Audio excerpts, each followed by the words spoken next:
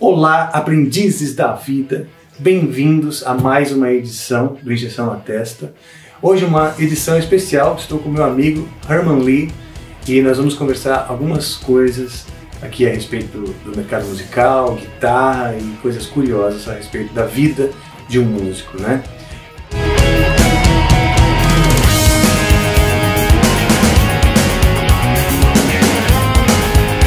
Herman, how's it going? Great. Thanks for having so, me. So nice to have to be here with you, and I have so many curiosities to be, speak about with you, especially because I know that um, you're a musician, but also manage your own band, right? I'm actually going through the same thing. I don't have, Mhm. my band Angra doesn't have a, a manager anymore. I'm kind of feeling that responsibility Mhm. to myself, like planning, focusing. The idea of this channel is bringing the kids information so so they can plan themselves. They can they can be a little bit more aware of what uh, what do a guitar player need to know besides playing the guitar. yeah. Yeah. So, um, tell me, Guitar Hero helped a lot Dragon Force, right? I mean, it was a good thing. It was a good. Do you think that still impacts on on your music or on your career?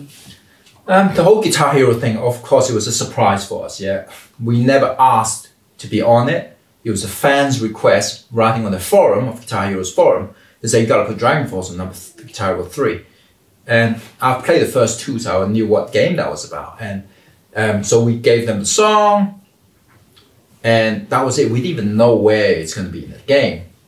So we only found out later, oh, it's the last song after you finish the game.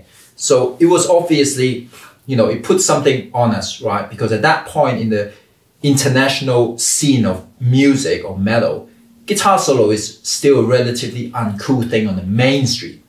Of course, Angra is still shredding all these years, you know, making great albums, lots of guitar playing. But in terms of mainstream, it was kind of like, oh, you know, it was like metalcore, it was that kind of music.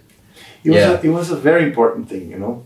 Guitar Hero brought back the spirit of guitar playing, because like very young kids, they could feel that they were playing the guitar, and I think Dragon Force brought brought that spirit of shredding as a fun thing, as a is like um, like like a game.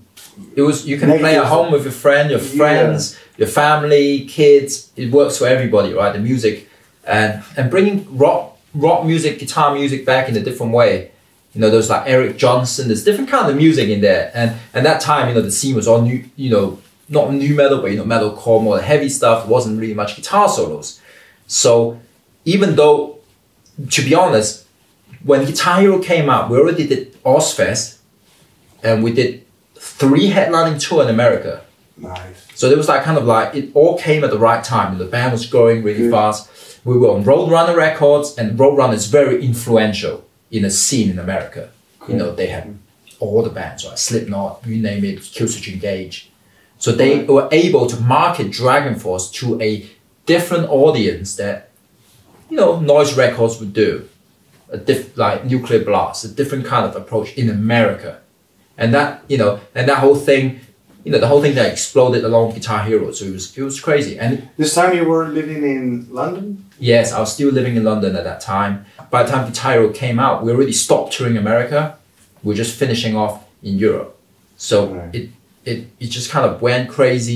You know, the album sales was like really picked up. So it was it was a really good thing for us and for I think for guitar music generally. It was. I mean, I have a friend. He's he's an awesome guitar player. He's still young, and he started out uh, on Guitar Hero, learning and like.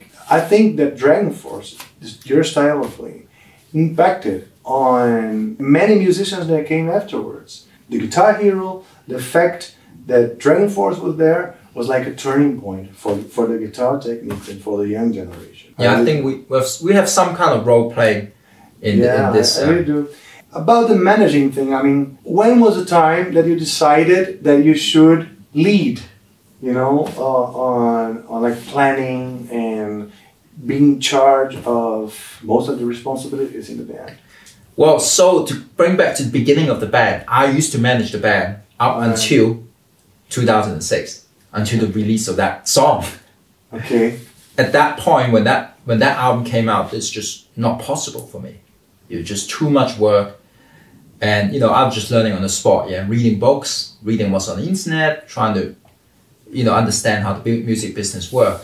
You know, I did the record deal. I went and found the record deals. I contacted all the different record labels, and then I've got a lawyer to help me understand the deal and signed it. Do you have a, a crew, like a team of people helping you out, like secretary? What, what- how, what's your structure? No, no team, just me. I did the website. I did the you know making the website. Did all the MySpace stuff, the MP3.com. Um, arrange who to record the album with. Uh, I learned Pro Tools on the spot for making the first album, and then you know, and then there was a gap. We got a manager. By then, you know, when we got the manager, the band already exploded. I pretty much built it up um, that way. And then since um, you know, a year and a half ago, we, we you know we taken in charge again of the situation. I realized it was the only way to to move forward. And it's better to know that every decision you make, if something happens, you're on fault Yeah. you know, and there's no questions about thing. So with if managers, I think one thing very important that musicians, especially rock musicians, and musicians can get really bullied. I think all kind of musicians because we want to concentrate on the music, and somehow a lot of people out there can sometimes bully you because you don't you're spending more time on being a musician than you don't spend your time in the business. So you, there's no way that you can know both equally well. Yeah. Yeah, I know what you mean. I was learning on the fly. I wasn't doing the amazing job at knowing everything, but I was trying my best. And we got our deals and all that. There's things I could would have changed if I knew when I was younger, but I didn't. And even now, a year and a half later, I wish I did something better. And we always learning. Right. So I think people shouldn't be afraid of making mistakes. I've always had people in charge of my uh, interests, right? Now I'm not afraid anymore to, to commit mistakes. Mm-hmm. Now it's on my own responsibility. There is the personal life that you have to schedule, Mm-hmm. right? How do you do you balance your personal life? Well, so this time around, I do have assistance. You know, Okay, Sam, yeah, known for his drinking, helps out a lot behind the scenes with That's a lot of the daily stuff that, you know, it's like decision is if you have to pay a bill, you have to pay a bill. Okay, It's not like you can't think about it. Well, should I be paying the bill? No. But if it's a deal coming in, then you could, sometimes you got a question: Are these correct? okay. Should I speak to a lawyer? Should I speak to someone to help me? So I deal mainly with a lot of these these things as well. There's like there's no there's no right or wrong, um, but um, but you gotta think about it. Um, so Sam help you with daily stuff and in house with lawyer too. So I have this uh, office of lawyers helping me with so many stuff, especially because the, the after almost thirty years of mess, you know, because I mean, so many ex members, you know, and so oh many- yeah, it's very complicated. You Because know, after you learn the mistakes, you still need to, to, to deal with the mistake that were done. You Mhm. know, and they're, they're still uh, coming back to you many times. That's that's how I feel. So I'm trying to clean up a little bit of the stuff that was done in the past. I, I feel that I, case. I feel the same too. You know, a lot of the stuff that needs cleaning up from the past that hasn't dealt, been dealt with correctly, or just not dealt with at all, just like left in the, and they go, oh, okay, that hasn't been dealt with. Young people need to understand if they're going to get managers, they need to understand that the manager work for you. Managers think they are the boss, and then musicians be, do what they're told. Yeah. Okay, maybe they're more experienced in certain things that they can tell us and guide us. So it's up to you in your trust, but always ask for an opinion for someone else to see what's happening um, on Yeah. that. young guys, I mean, young musicians or uh, young bands, many times they get so desperate to find a manager that whenever they find one or someone puts some interest in them, they do whatever he wants. I mean, he, he can manipulate the band because of that the picture that the manager will be responsible for all the good results, which is not the the truth hmm about your routine you know you you are a very multitask kind of guy what is your routine like and you have your personal life of course Mhm. young baby you have the, your twitch tv how do you manage your routine, like from Monday to? Do you have any kind of? So I'll tell you what, what happens in Herman Li's life Monday to Friday. Monday to Friday, every day I wake up, I do the. So from sleeping the night before, I look after the baby. Okay, If the baby wakes up, I make a decision if she need to be fed or she gotta go back to sleep by herself. all right. Yeah, and then I wake up in the morning, feed the baby, do the stuff needs to be done, take the baby to daycare. I take the dog too because the dog, this dog can't be left alone. He starts freaking out. And he's fully blind. Yeah, so I take him in the car too. Everyone just go, drop the baby off, come back here. First thing, check email, reply to necessary email, try to do all of them. By the time I, you know, do the email, it's almost time to do a live stream. All so I do the live stream, I finish, and I try to do some more. You do it every day. I do it three times a week when I'm off tour. Okay. When I'm on tour, we stream every day from the shows. Ah, okay. Yeah, so people can see backstage and on stage Nice. what's happening. Do You have someone helping you with this? No. You like holding your iPhone? No, I'm my own crew Yeah. on my own stream tech. Okay. It's the industry. That's brave. the industry, industry hasn't got to the point where we and the band, you know, to afford to bring a stream tech. Yeah, yeah. I know what you mean. It's, so you're fortunate that you were able to, I mean, to really do it. So my background is IT computers Okay. before being a professional musician. Okay. So it's the it's the Yeah. very I know it's a difficult thing. It's very complex. The cameras or the streaming stuff. So I'm always you know researching about it. But that's my daily thing. And then I try to do work and try to put the guitars in. And then you know by the time it's four o'clock, I gotta pick up the baby. I leave the weekend free Oh yeah. from, from working when Nice. possible. Good. Yeah. But do you practice your guitar during the weekend? No, No. no. So I have to find that practice somewhere. So I do it on stream. Okay. I practice Dragon Force songs on stream so people can see me doing playthrough Nice. like all the time. That set list. I can practice a song. Sometimes I mess up, but you know that's the reality of it, right? You know. That's nice to know. That's nice. Many times I get a little bit not not so confident to practice in front of people. I wasn't at the beginning, and I would say, "Oh no, I don't want people to see this." But after a while, you thought, you know what? You either believe the reality or not. Yeah. This is what it is in people. People perform better one day and worse another day. Yeah. You don't practice, you're worse. You come back off tour, you're shredding. Your fingers are like on fire.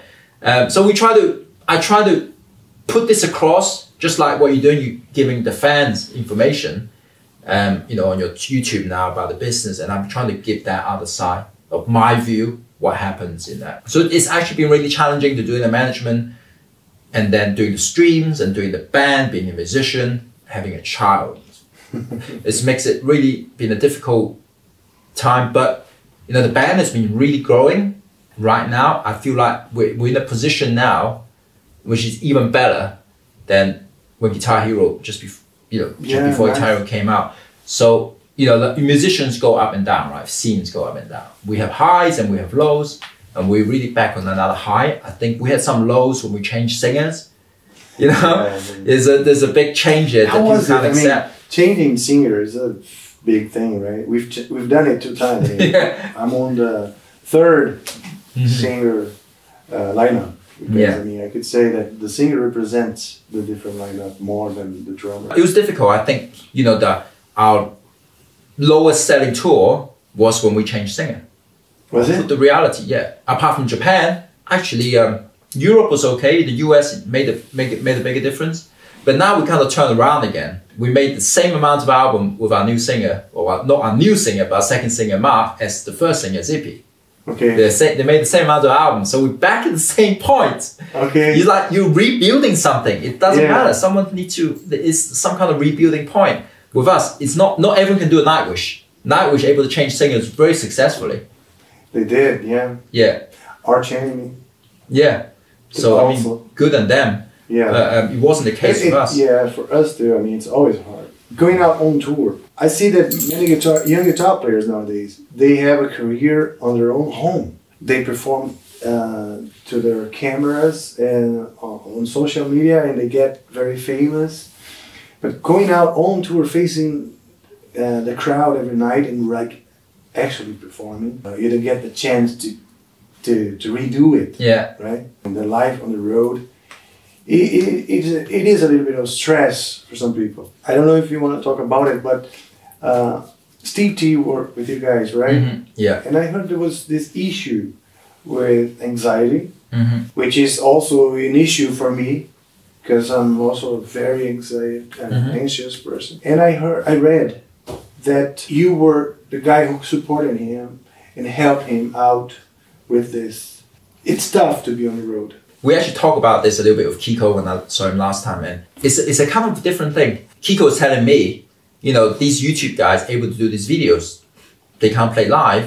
They don't go and play live, but I play live, but I can't make these videos. Yeah. You know, and I have to learn how to do these videos. It's like if uh, if our um, the guitar player's career is split into different different branches. Yeah. and everything is a skill. So those guys that do videos on YouTube, they are very good in playing in front of the camera.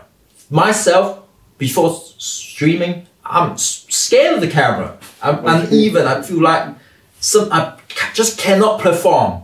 You know, even though something I played hundred, you know, every night for like four years, ten years, I'm still like ah, you know, there's a feeling that's kind of get to you, right? Yeah. Um, so I'm able to challenge that by doing live streaming. I feel better now and playing it. I just don't care. Like you know, what, there's mistakes, be it if it's, but this is this is what it is. And so the YouTube guys, I know they they're special. They're specialists in making YouTube videos. They're really good at it. Yeah. Making good takes, making entertainment video, and they just haven't practiced playing live. And it takes time to practice live to be good at live. Stand with Yeah. your guitar. Stand there. Not many guitar players are playing standing. You didn't sleep, you didn't get a good meal, you can't hear yourself too well, the lights are flashing, there's people distracting you. Asking for pics. Yeah, pics. you worry about something before the show, you didn't quite get to the zone, you didn't have a good sleep on the bus. So many factors, right? Instead, Yeah. you, you get your best case scenario, YouTube, right? Everything you're in control. So this is something I think the, the people that do videos should experience, even if they don't want to be a professional live musicians.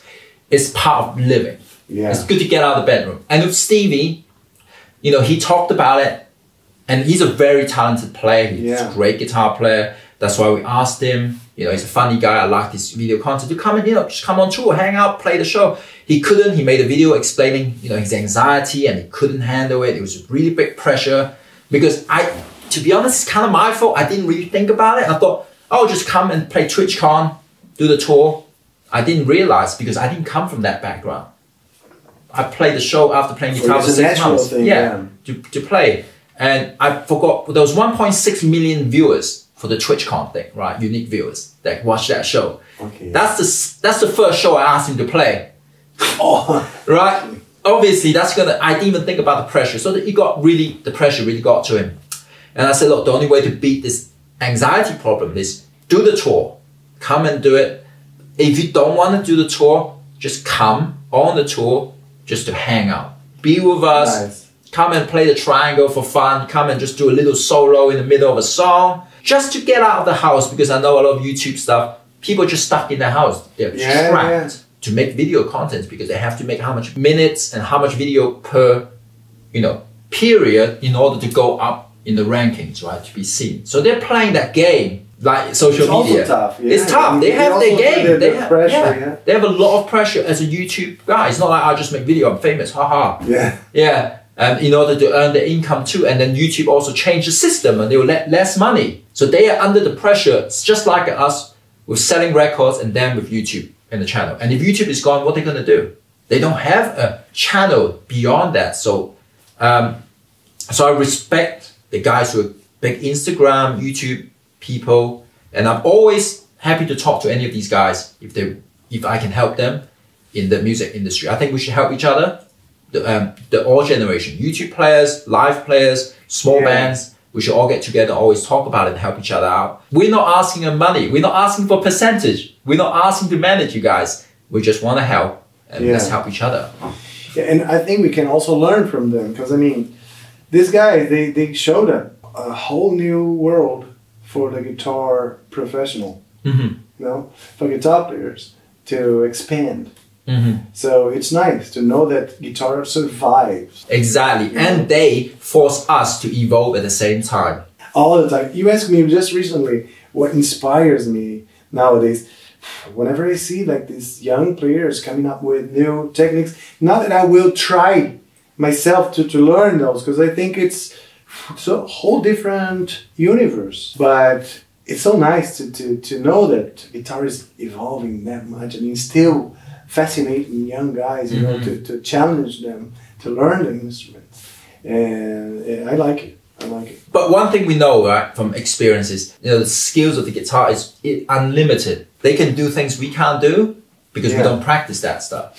But they also don't have time to practice what we do, playing live and all that. Yeah. So, um, so I think you know it's great that we can educate each other, learn from each other, all Yeah. generations, uh, and they gotta understand their worth. You know, someone with how many thousand subscribers, they need to know that gonna play a brand of guitar. For example, you're doing free advertising for Yeah. a brand. These brand no longer have to buy ads on magazines. You know, they should be paying you if you have a big YouTube channel to play certain guitars. You're right. For how many how many videos, how many brands. If you got a million subscribers, the reach you're getting five hundred thousand videos um, views on the videos. How much it costs the brand to put an ad in a guitar magazine, and they still still not getting that views because it's not interactive. It's, you don't get How many comment. copies of the, the magazine are out and the views? I comparing to the views, yeah. worldwide, and this stays forever. The magazine yeah. thrown away in the toilet. You know, Yeah. you someone sit down and look at it, and if you once you stand up, put your pants up, probably not worth anything.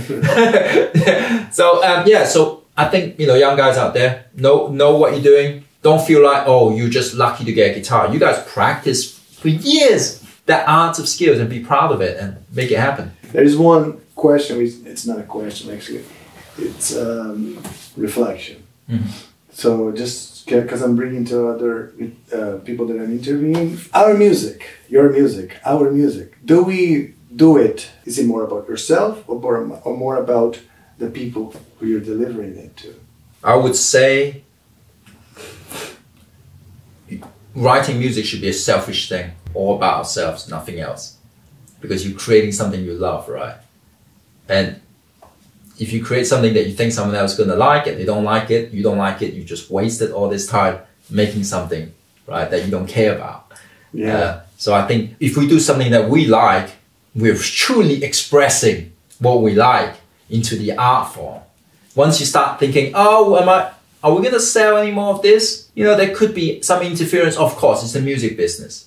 There's always gonna be some kind of thought into it, and someone else who take a percentage of what you make mm-hmm. might also inject their opinion to know to say they know better. But the truth is, no one really know what works. You know, have you ever made a, another album? You thought, well, it's as good as the, the other one, but someone said this one is a million times better, or that one is a million times better. Yeah. Okay. It doesn't make any sense. There's no logical explanation. It's not mathematics, right? Or physics. So I think, in our opinion, in my opinion, Dragon Force, we make music that we want to hear because I think I know, after listening so much music, what I want to hear in my ear and what's original, and that's show what we are. Nice. Nice. Well, it was very nice talking to you. Thanks for having me here on your place. Thanks for your time. Thanks for your answers, for your mind. I believe that young young guitar players that are watching us now, they they they really like they will enjoy it and it's useful information for them. Thank you. So Thank you, Rafael. Thank you, Thanks friend. having me. Awesome. É isso aí. Se você gostou, dá um like, compartilha, aperta o sininho e esse foi mais um Injeção na Testa especial com Harmony. Valeu. Obrigado. Obrigado.